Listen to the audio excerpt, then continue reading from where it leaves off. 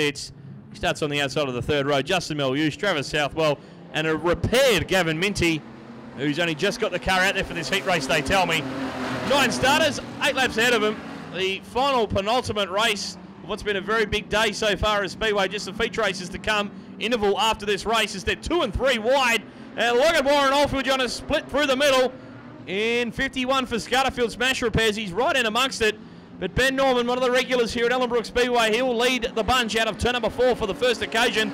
The two new model Falcons of Walker and Amagiri side by side. Oldfield makes it three wide as they enter turn number one in the reverse direction through Hawkins Corner. And it's Warren Oldfield who now sits in second place as Gavin Minty has taken his Commodore to the infield. So all that work has amounted to pretty much nothing. Hopefully Gavin will be uh, good to go for the feature race for our street stocks. And they're supported this afternoon by Oldfield Settlement Services. And it's the 66 of Ben Norman for Prestige Installations, who leads Warren Oldfield, Stephanie Amagiri, Peter Walker, be just happy to be back out there. And the Groundmasters Falcon, Damon Hutchins is fifth from Travis Southwell, who's got Marty Kelly right behind him in car number two, the Ford Falcon for Commercial Locksmiths. And then a long way back to the 151 of Justin Melush. But Warren Oldfield, he's three-quarter track high on the exit of turn number four. Stephanie Amagiri, just like what happened in the A-main of the Brian Rose, nipping at his heels. With Oldfield will have uh, one eye on trying to hold off Amagiri, but at the same time, trying to mount a challenge on the race leader. Car number 66 of Ben Norman. He ducks to the inside as Oldfield. And uh, Norman just shut the door as they entered turn number three. And this is going to be a pretty good battle in the concluding stages of this one. I think we're halfway home this time around. We are. We're halfway home. Four down and four to run. And it's the Falcon of Ben Norman leading the Commodore of Warren Oldfield and another Falcon of Amagiri. Look at Amagiri digging on the bottom in 83. She's working the pole line to effect. Oldfield, the big outside move coming up. You have to feel to the outside of Ben Norman. They race hard into Les corner. He's three-quarter track high. The driver at car number 51, the Holden Commodore from Ultra Tune Morley.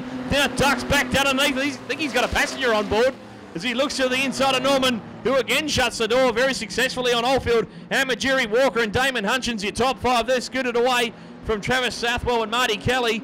Justin Melush is uh, taking his car of the infield, leaving just seven remaining. Oldfield again, another big lunge.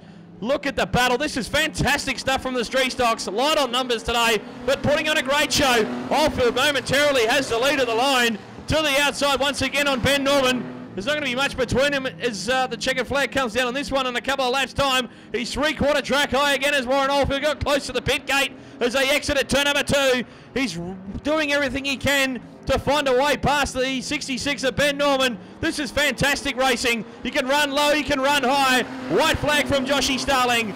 Warren Oldfield now has the nose in front. Ben Norman, a big lunge into Hawkins' corner, but I think Oldfield might have got the better of Ben Norman out of turn number two for the final occasion. And the Scatterfield Smash Repairs Commodore, supported by Stickett Suspension, will come through Les Kowal corner and get the 36 points in Heat 3 of the Street Stocks, narrowly from Ben Norman.